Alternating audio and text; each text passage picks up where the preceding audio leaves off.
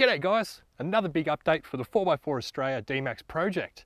We've just finished installing a dual battery system, but it's not what you think.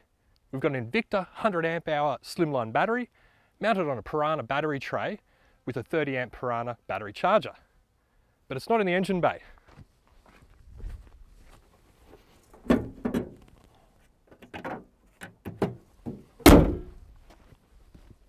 it's not in the canopy. Where is it?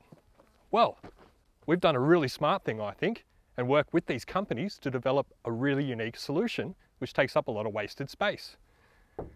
It's all behind the back seat. Let's take a closer look.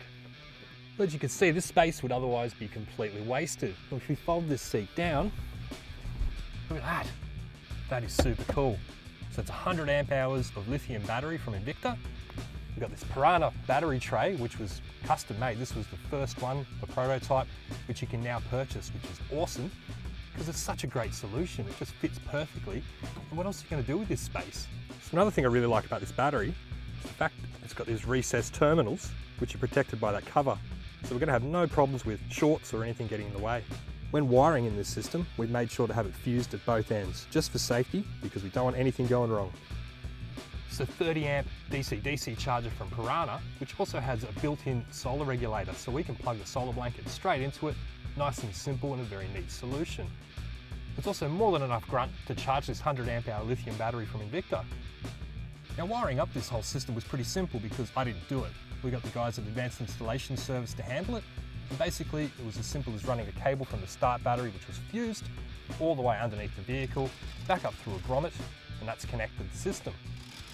From this battery, we're going to power up one sort of power bank in the back, which is going to be mounted on our MSA storage drawers, which is coming up next. And that's going to be able to you know, charge our fridge, camera gear, things like that. We'll probably also set up another solar point in the back so we can plug in the panel directly here or in the back. So it's really simple. In saying simple, this is pretty high tech. You know, 100 amp hour slimline lithium battery, that's going to be more than enough for what we need.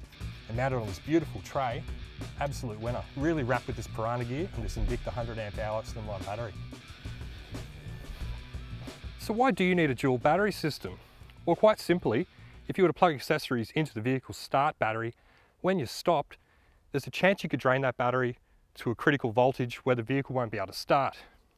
So by having a secondary battery, you can run all your accessories off that, and with the DC-DC charger from Piranha, that'll cut signal or voltage. So you won't be able to drain your start battery, you can drain the auxiliary battery. Now we know there are plenty of options when it comes to batteries for your vehicle, and I personally wouldn't bother with an AGM or a lead acid second battery these days because lithium technology has come so far. There's so many advantages, lightweight, the ability to discharge the battery more, etc., etc. So if you're setting up a vehicle from scratch, a new vehicle, I think you'd be kind of mad to not go lithium, which is exactly what we've done. Now, I've got a bit of a dummy here. This is a not the slimline battery you have in the back, but it's another battery from Invicta, and it's actually, it's a model, it's a dummy, it's not real. But they sent this out to me to show you guys what's inside their batteries, and I think that's a pretty cool thing. I want to check out the wiring, and also what sort of cells they use, if they're prismatic, which is what you want. Also the BMS or battery management system, if it's a quality unit, where it's mounted. This is all very important when it comes to lithium batteries. So let's pop it on the ground and have a look.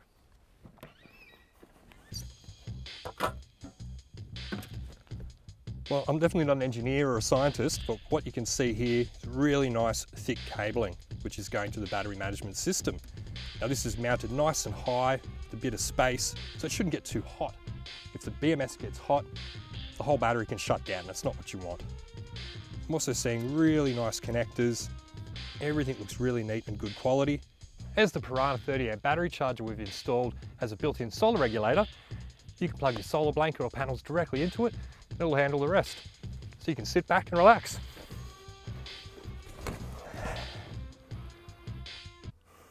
This Piranha battery tray has been specifically designed for the current model D-Max, and specifically to suit this Invicta slimline battery, and I reckon it's the perfect package for our needs.